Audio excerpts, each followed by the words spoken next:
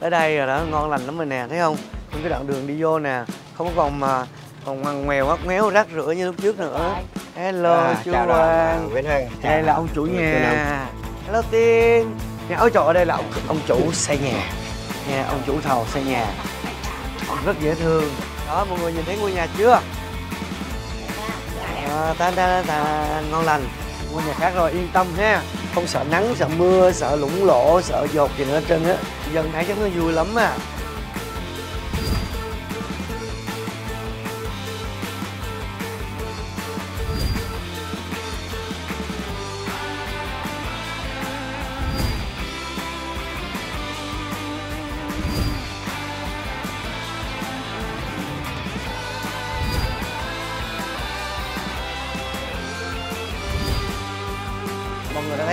Nhà cũ ra sao? Bây giờ như thế này rồi quá an toàn quá yên tâm luôn. Cảm ơn em cũng như là xã nha cũng bạn bè của mình như là anh em nhân công các ờ, đội ngũ của em đã giúp cho hưng à, cùng à, thực hiện được ước mơ của vân. Hưng cũng phải cảm ơn bạn bè của hưng những người thân có hai ba người thôi. Đó, thấy hưng làm vậy đó nói thôi cho em hùng giới cho em chung vai gánh vác giới. Và hưng đã phải cảm ơn khán giả của hưng.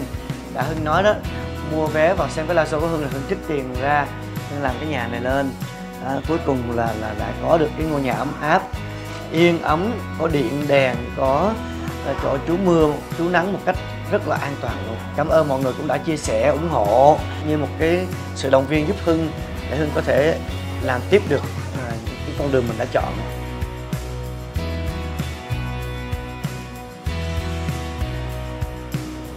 Ta-da-da-da. con đã từng là người không có nhà rồi.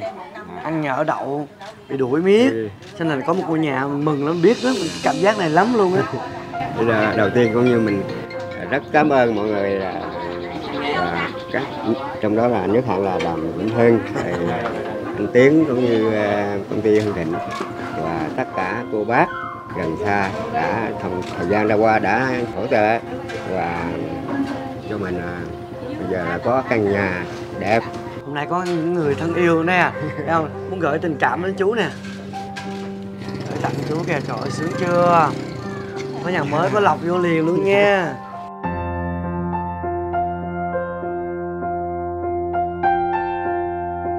Trước khi à, gặp đàm trà đàm Vĩnh Hưng thì mình chỉ có à, lúc đó là rất là khó khăn. Cũng như mình, nhà cửa thì nó hư ha, hụt nhưng mà chỉ có mong muốn là chỉ cất lại cái nhà tạm đơn sơ để ở che mưa thôi nhưng mà cũng rất là may gặp à, được à, đàm Vĩnh Hưng à, tài trợ cho mình ngôi nhà. Dạ. Là rất mừng lắm vui lắm. Dạ à, dạ. xin cảm ơn rất nhiều. Không phải mình con mà nhiều Dạ. bạn bè con nữa nhưng quan trọng nhất là gì biết không chú không? Dạ. là bé dân cảm dân á qua cái hành động này nó là một giống như là một sự báo hiếu trả hiếu với chú vậy đó. Thấy không bản thân nó không xin cho nó điều gì hết trơn á mà nó chỉ mong có cất ngôi nhà là cho cho, cho ba nó thôi để khỏi bị mưa nắng này kia. Đó đó là một cách. Mặc dù ở trong cái cái môi trường khó khăn đó nhưng mà vẫn nghĩ tới cha mình. Đó À, chú thấy con chú mặc dù thấy không có những lúc à, sai đường lạc lối nhưng mà ở trong cái môi trường để mình đào tạo đó mình cải tạo lại là vẫn nghĩ cái đến cái việc mà báo hiếu cho cha. Rất là tuyệt vời luôn.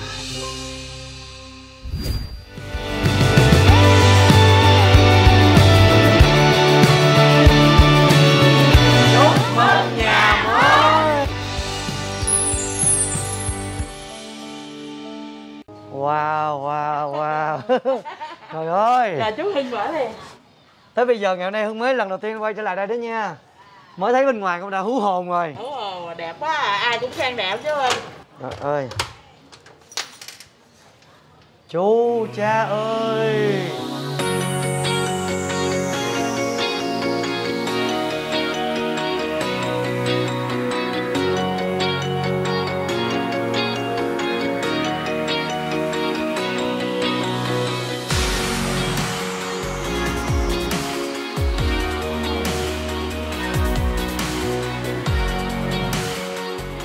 nó khác biệt dễ sợ luôn á. Vô đây cô. Trời ơi, nhà cô mà.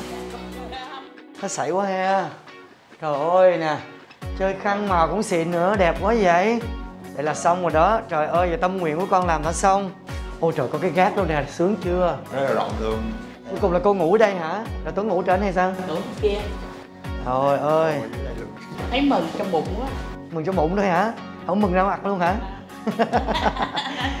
nè nó không còn mình một cái gì là là là mình là cũ kỹ á chú yes. Cái gì cũng mơ hết.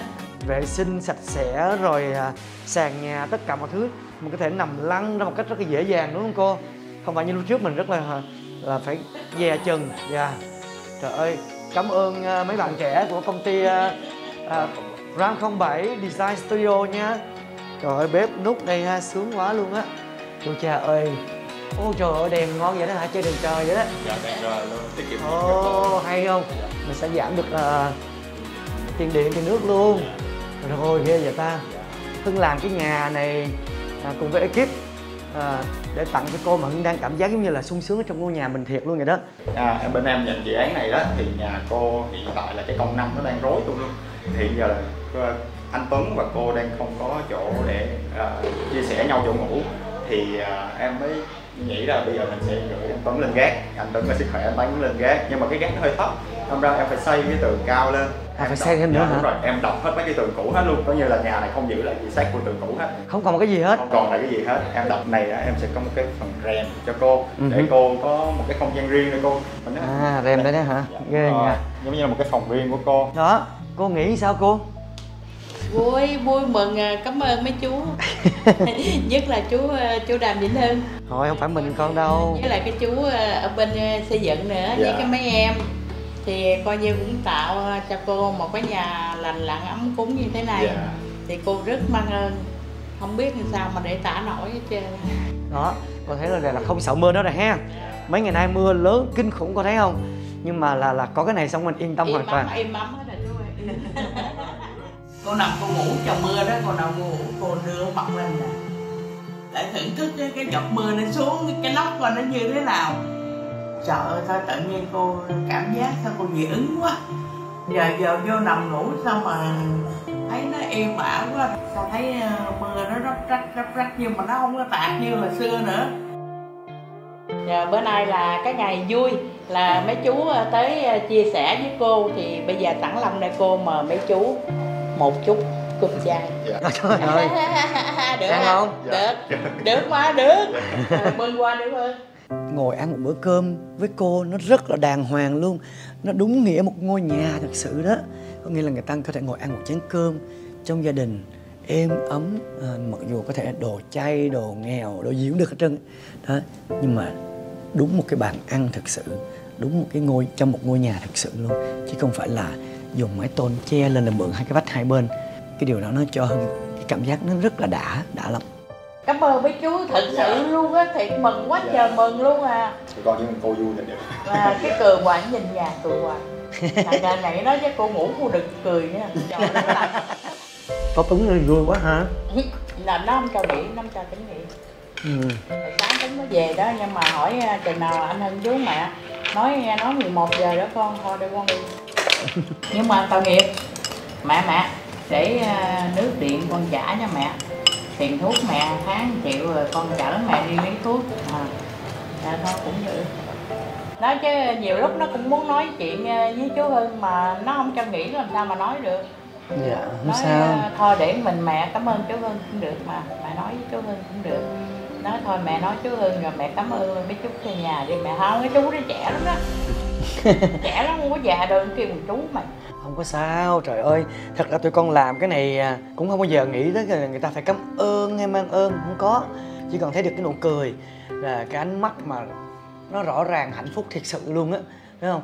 Là cái cảm giác đó chỉ có những người mà làm ra cái việc này nó mới cảm nhận được. lại giùm cho ta. Và mới hưởng hưởng được cái cái cảm giác đó sướng như thế nào. Thôi chứ còn mà cũng không phải trông chờ. mừng thiệt á chú ơi mừng thiệt chứ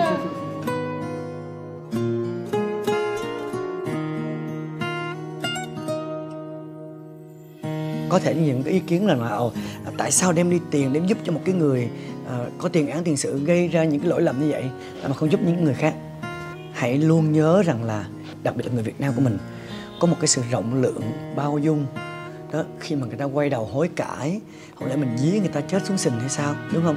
Khi người ta đã có những sự ăn năn và trả giá rất là nặng suốt cả một cái tuổi thanh xuân 20 năm trời chôn vùi ở trong nhà nhà giam. Đó, nó quá đủ để mà người ta có thể nhận ra những điều gì giá trị trong cuộc sống này. Không lẽ bây giờ mình ném cho người ta thêm một cái nhìn khinh khi nữa? Mày coi thường tao hả? Tao làm tiếp cho mày coi đúng không? Tao sẽ đi quậy tiếp nữa tại mày không cho tao cái vòng tay mà đúng không? chính cái cách mà đối nhân xử thế lấy đức báo oán đó là cái cách mà nó, nó từ, có từ muôn đời nay và qua nhiều thời đại nào cũng có thì nó sẽ thu phục được lòng người ta nhanh hơn. Cảm hóa một con người thêm một lần nữa để tiêm vào trong trái tim của bạn đó thêm một cái mũi nhân từ, một cái mũi bao dung rộng lượng. Thì hân sẽ chọn vào tuần này.